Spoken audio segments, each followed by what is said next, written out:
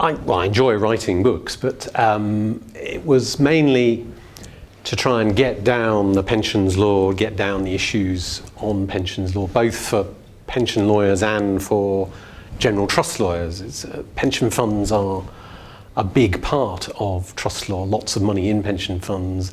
They're, they're underrepresented as, a, as a, an academic subject or a subject that's studied. Uh, probably not, not enough given the amount that's involved. I wanted to fill that gap and give people access to the, the, the exciting things that are happening in pensions law.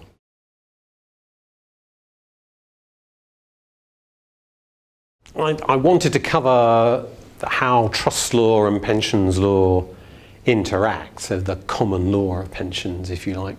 There's a lot of statute law that relates to pensions, which I've not, not covered as much it's mainly been issues like trustee duties, employer duties, which are common law areas. So issues dealing with the purpose of a pension trust, the um, uh, duties of directors of trustee companies, that sort of thing are the ones I've, I've tried to cover in, in some depth.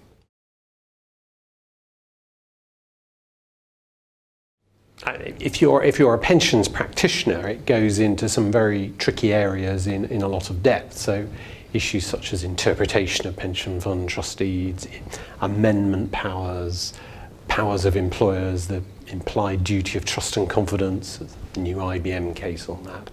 Um, all of those issues are dealt with in, in a lot of depth, and it's not dealt with elsewhere, so it's, it's the place to look at for, the, for those issues.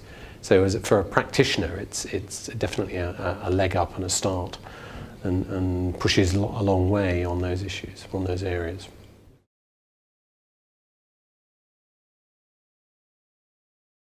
I think if I were to write a second edition, the issues that come up are things like um, the mutual duty of trust and confidence. There's been a recent IBM case that's pushed the boundaries a bit on that.